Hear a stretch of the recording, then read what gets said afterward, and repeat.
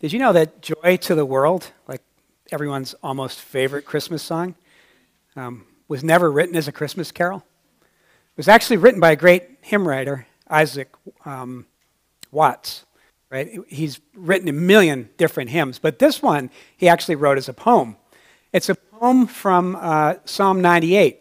It's that psalm we all know. It, it's uh, "Sing a joyful noise to the Lord." I'm pretty sure Evie was probably um, thinking as I was singing, like the pastor's just singing a joyful noise unto the Lord. That noise behind me as I was singing this morning. But Psalm 98 is a psalm about joy, and it's really a psalm that looks forward to our joy in Jesus. And Isaac Watts, as he wrote this poem, wrote it so that we could know the fullness of the joy we have in Jesus Christ. So he's, he's written it with that prophecy fulfilled, or at least as far as Christ's first advent. And then um, Lowell Mason, who was the organist and um, like the music leader at Park Street Church in the early 1800s, put that poem to music. And as soon as he did that in the 19th century, Joy to the World became like the biggest Christmas hit. Well, while Isaac Watts never intended that to be a Christmas song, a Christmas carol, um, it's shockingly similar to another songwriter's song. And that songwriter is Mary the mother of Jesus. She wrote a song in Scripture as well. It's in um, Luke chapter 1. It's called the Magnificat, which is Latin for magnifies, where she talks about how um, God has magnified her soul. I'm going to read it to you now. It's Luke chapter 1, verses 46 through 49. I'm just going to read the first four verses of that song, as Kenny puts it up there for you to read. Um, it is on, help you find it here in your Pew Bibles if you like. It's page 804, 804 in the Pew Bibles, page 1017, 1017 in the large print Bibles. Hear now the word of the Lord. And Mary said, My soul magnifies the Lord, and my spirit rejoices in God, my Savior. For he has looked on the humble estate of his servant. For behold, from now on all generations will call me blessed. For he who is mighty, has done great things for me, and holy is his name. This is the word of the Lord. Let's pray.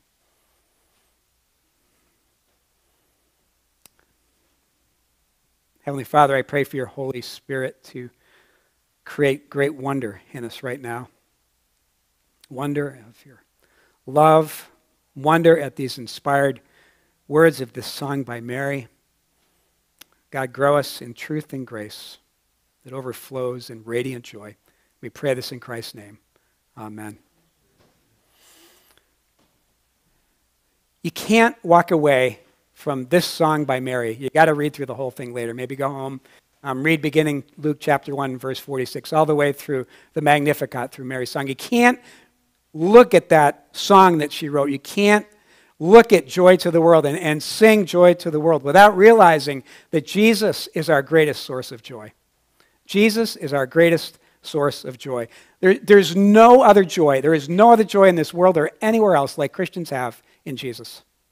And Mary points out three particular uh, elements of that joy which make it so great. For instance, our great joy in Jesus radiates. Our great joy in Jesus radiates.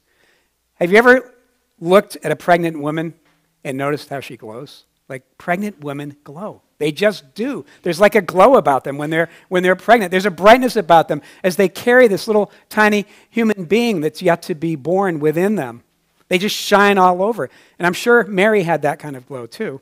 But that's not the kind of glow that, or, or, or brightness that, that Mary's talking about in our passage this morning. She's got a joy that's in a completely different zip code, that's in a whole nother world. It's like radioactive joy when she says, verse 46, My soul magnifies the Lord, and my spirit rejoices in God, my Savior.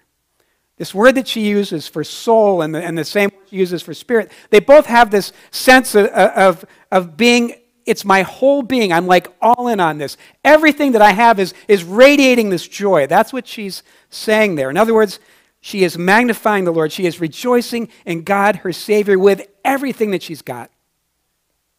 This is a song for Mary's heart. This is not just some sentimental little song she's making up. This is a very personal song from her heart. She's put everything she's got behind it. It's a worship song. a song that bursts out in praise to her Lord and Savior. Now, that's an important point, right? She, she's not bursting out. She's not radiating that joy because she's got a baby inside. She's not radiating that joy because that baby inside is the Messiah. It's not a self centered joy. No, her soul, everything that she has within her is magnifying the Lord. Her spirit's rejoicing over God Himself. It is God that she has the joy for. See, it's not about what God is giving her in the baby or, or anything else or, or the fact that she's going to be called blessed. That's not what is driving her joy. Her joy is driven by God Himself. It's about her joy in God, it's about her enjoyment of the person of God that magnifies her with all that she's got, that she rejoices. St. Augustine said, Enjoyment is the highest form of love. Enjoyment is the highest form of love. I mean, think about it. Think about who you enjoy being with the most. Isn't that, aren't those some of the people you love the most, that you enjoy being with the most? Mary was looking beyond the gifts that, that, that she would receive to, to, to give praise to the one who gave her the gift. She wanted to magnify, she wanted to enlarge, she wanted to show how great, not the gift is, but how great God is. She knew she was blessed, but she wanted to show how great the blesser is, not just the blessing. That's what joy in Jesus does.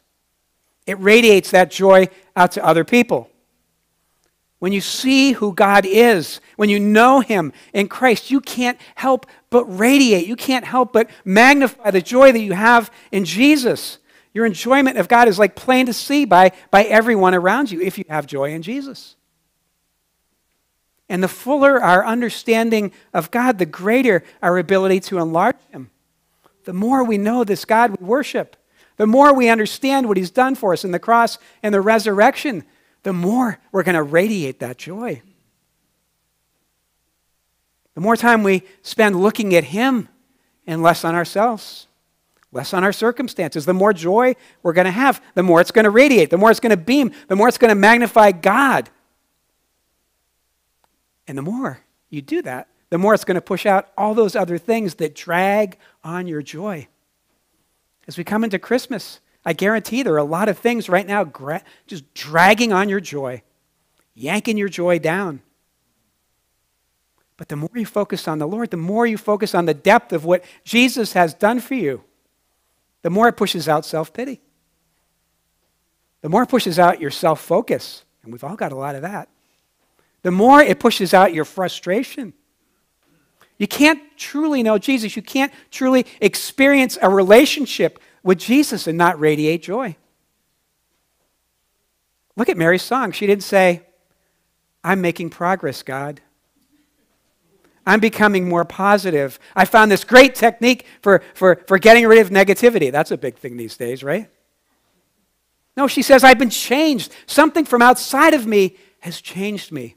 I'll never be the same. And I'm radiating uncontrollably. I'm overtaken. And that's because our great joy in Jesus is received. Our great joy in Jesus is received. Our joy in Jesus is an outside in joy. It comes from outside of us and finds its way inside of us. Mary sang, verse 47 God, my Savior, has looked on the humble estate of his servant. What is Mary doing there? She's confessing her inability to save herself. She's, she's not saying she's some co redemptrix, okay? That, get that out of your mind. That's another religion. She's in need of herself a Savior, a Savior to save her from her sins. Do you remember what the angel told Joseph? Matthew 121 She will bear a son. Mary will bear a son, and you shall call his name Jesus, for he will what? Save his people from their sins. Not to give them their best life now, but to save them from their sins. Mary recognized her position. Mary was a sinner, a sinner in need of a Savior. That's why she praised God for providing the Savior, called him the Savior.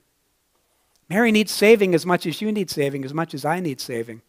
And by His grace, God saved her. He saw her humble estate, He saw Mary's lowly condition, and He did great things for her, like putting a child within her and sending her son to be a Messiah and Savior, but God reached down and saved Mary. This was very personal. He saved Mary as he can save you or me.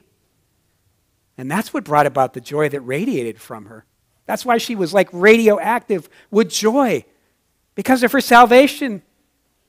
That's what brought about this miraculous change in her life. It wasn't chestnuts roasting up on an open fire. It wasn't Jack Frost nipping at your nose, little kids doing whatever they do. I forget. Something about mistletoe, turkey, I don't know.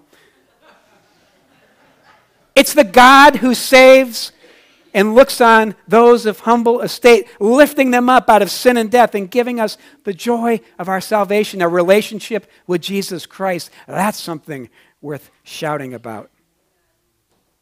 God reaches down in mercy and, like we just sang, lifts up the humble. Lifts up those who acknowledge that they're unworthy to stand before a holy God without a Savior. Ironically, that theme of lowliness to greatness was the path of Jesus himself. It's what theologians call the great reversal, in that God humbled himself to become a man to endure the painful, shameful death on the cross that saved us from our sins. And then, having humbled himself, he was raised from the dead to be exalted and given all glory for doing what was impossible for you to do for yourself, or me to do for myself, or Mary to do for herself. Brothers and sisters, friends, if that doesn't break, cause you to break out in joy, there's nothing that's going to put joy in your heart. If you don't know Jesus in that way, you don't know Jesus yet. You don't recognize your humble estate. You somehow think that God owes you that, maybe. Or you think too highly of yourself, like you can save yourself.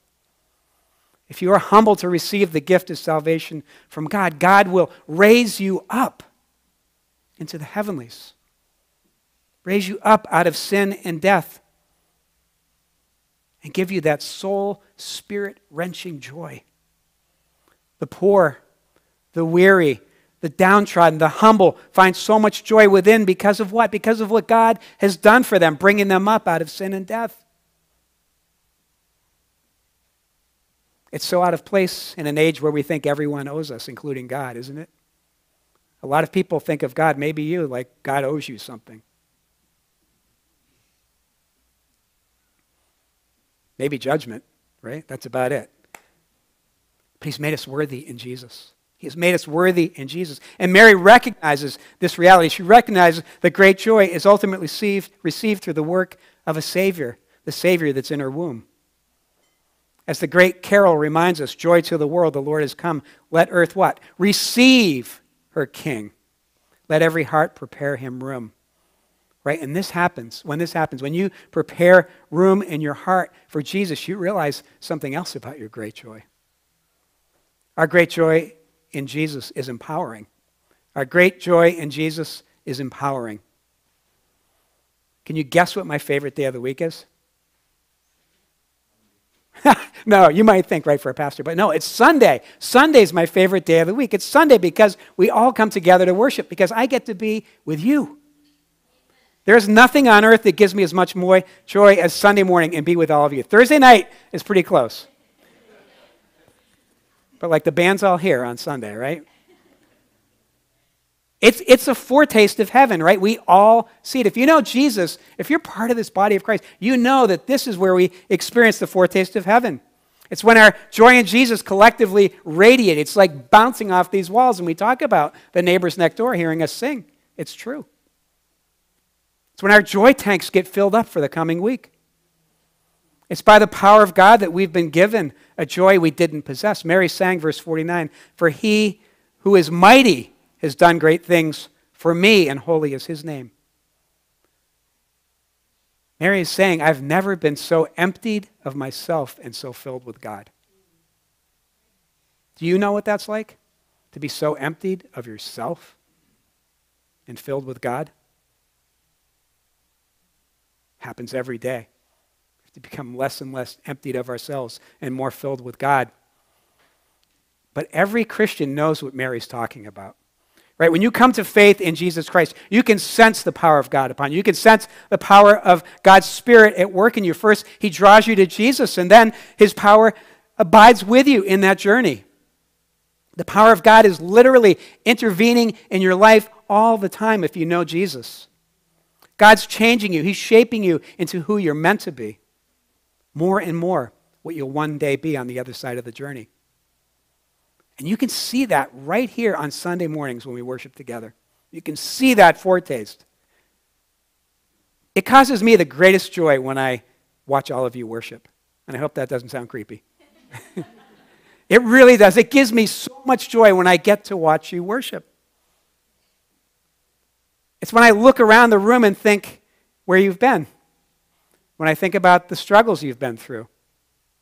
Think about the struggles you're going through.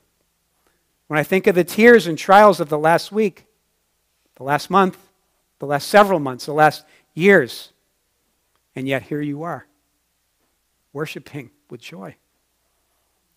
You're singing, you're praising God with a joy like no other.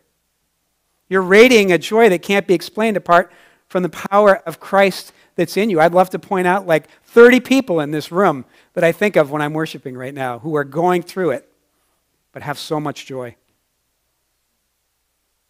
And that's empowering. That fuels my joy as I see Him at work in you. And that joy in the Lord empowers more joy. It, it reverberates within this room, within the body of Christ, every single time that we gather. That doesn't happen online. Nehemiah and Ezra told the returning exiles on their day of worship as they gathered together, Nehemiah 8:10, "The joy of the Lord is your strength." What is he saying? He's saying God is an infinite well of joy. God is the source of your joy. Jesus Christ is the source of your joy. Nehemiah, Ezra, and the people were ravaged by war. Right? They, they were weak. They weren't like the strong people. They were vulnerable Yet God provided their source of joy, the infinite well of joy, as they came together, as they continued on the journey that God had sent them. Jesus said, if we abide in Him, if we abide in the love that He gave us by laying down His life for us, that John 15, 11, my joy will be in you, that your joy may be full. Joy is part of the fruit of the Spirit that God gives every believer in Christ. Joy. Every believer in Christ has some measure of joy. And that's not a stagnant joy. That's not a, a, a, waning joy. It's a joy that's empowered and fueled by God's own Spirit, radiating the joy we have in Jesus to a world in darkness, to a world in need of joy. And maybe to someone in this room in need of joy as they see you radiate. God has the power in Christ to give you the joy that you're missing. He does. If the foundation of your joy, of your, of your happiness, is your job, if it's a relationship, if it's approval of other people, if it's your possessions, if it's your abilities, if it's your accomplishments, then suffering and discomfort are going to rob you of joy. It will. But if your ultimate foundation is in Jesus, then suffering does what? It drives you closer to the source of your joy, the Lord. A source that can't be quenched. It isn't like we run out of joy. I've used up all my joy today, God. Infinite. And in the same region, there were shepherds out in the field keeping watch over the flock by night. And an angel of the Lord appeared to them, and, and the glory of the Lord shone around them, and they were filled with great fear. And the angel said to them, Fear not, for behold, I bring you good news of great joy that will be for all the people.